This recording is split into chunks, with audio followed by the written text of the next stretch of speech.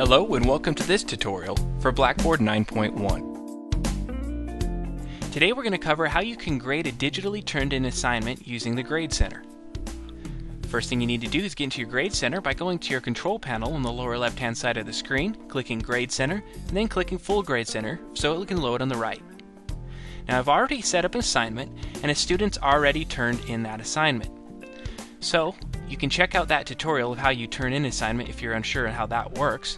But now that you already have the assignment turned in, you'll have an exclamation point appear in the cell for that student. Now by just clicking in that cell, it's going to give you the ability to go ahead and put in a grade. But we haven't really graded anything or looked at anything yet, so that's not what we want. What you want to do is click the double drop down button to the right of the grade and click on View Grade Details. And what this is going to do is open the grade details for that specific assignment in that specific student. Now, depending on how you set up your assignment, you have, may have multiple attempts, and this particular one was set up with a single attempt. So I can tell that it needs grading. It's going to give me that indication here. It's going to give you the information of when it was submitted and at what time. And this little value is just a placeholder because once we put in a grade for this student, it's going to update all the exclamation points with the right grade. Now to be able to go ahead and view the attempt, you just click the View Attempt button. And what this is going to do is bring up the assignment. So the very first thing you're going to look at is what attempt you're looking at. Then you're going to look at the current review of that attempt, as in what attached files they may have given to you or any comments they may have passed on.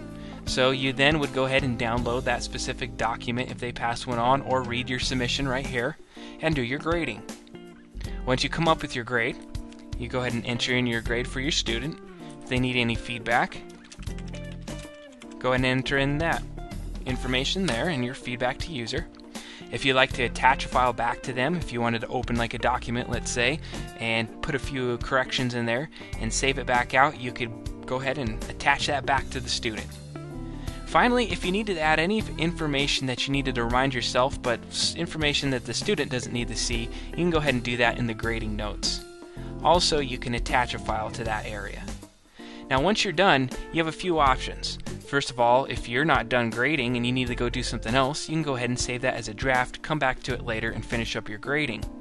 If you're ready just to save and exit, go ahead and save and exit. I'm going to dump you right back into the Grade Center.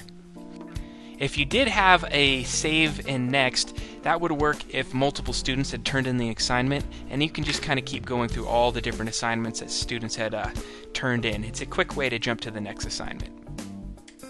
Save and exit, and there we go. We're going to see that it has been graded at 85 points, and all those exclamation points have now been replaced with that 85 points. If I click Return to Grade Center button, the exclamation is also gone from that area, and it's been replaced with the 85 grade. So if you needed to go take a look at that assignment again, you could go to that uh, particular cell, click the drop down, and click on View Grade Details. It's going to open that attempt up and you can view the attempt.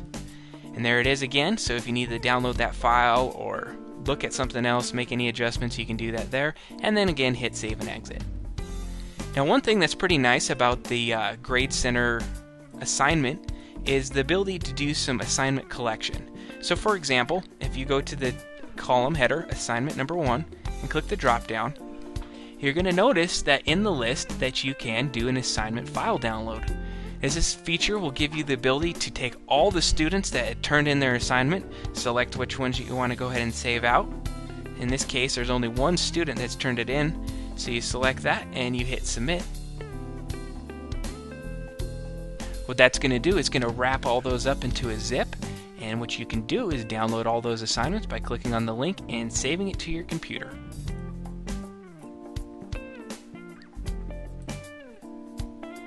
Now all your files will be accessible from within that zip file and you can take them wherever you want on a jump drive or mm, anywhere else and do your grading and then come back in and enter in your grades at a later date or time.